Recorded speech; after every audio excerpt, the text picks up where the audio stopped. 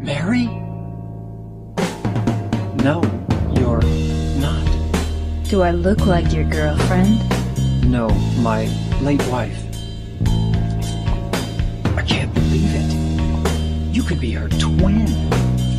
Your face, your voice, just your hair and clothes are different. My name is Maria. I don't look like a uh, ghost, do I?